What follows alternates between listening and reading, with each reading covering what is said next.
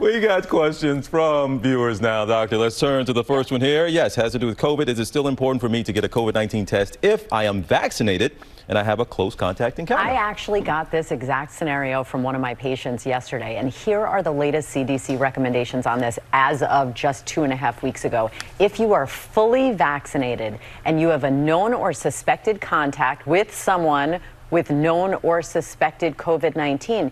You no longer need to quarantine. That's the good news. However, they do recommend that you wear a mask when indoors for 14 days or until you get a negative test result. And they recommend that you get tested sometime between days three and five, and that can be a rapid or a PCR test. And remember, incubation period could be 14 days. It's a low likelihood that someone would get infected. Um, so theoretically, springing you after a three to five day test might miss some people, but very, very, very low chance.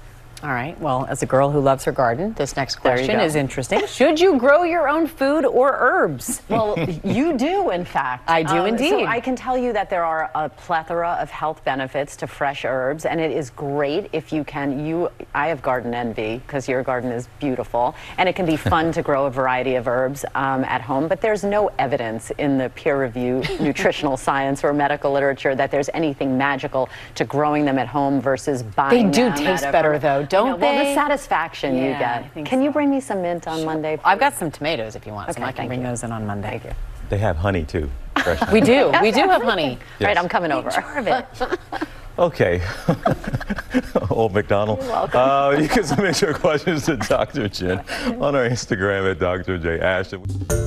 Hey there, GMA fans. Robin Roberts here. Thanks for checking out our YouTube channel. Lots of great stuff here. So go on, click the subscribe button right over right over here to get more of awesome videos and content from GMA every day, anytime. We thank you for watching, and we'll see you in the morning on GMA.